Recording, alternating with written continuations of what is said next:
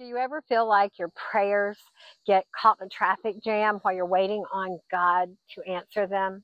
Stay tuned because today I'm going to show you how to embrace as long as it takes prayers. In today's world, we embrace ASAP prayers. I want my answer and I want it as soon as I can get it. Like right now, God, give it to me. But sometimes that's not how it works.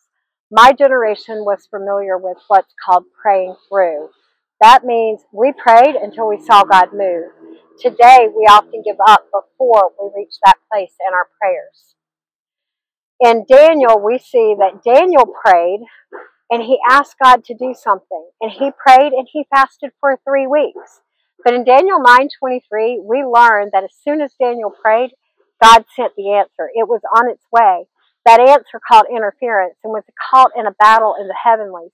Daniel kept praying until he got the answer. Now think about it. What if Daniel had stopped praying on day one, day three, day seven? He would have never seen his answer. All too often we stop praying before we see the answer. Mark Batterson talks about ALATT prayers, as long as it takes prayers.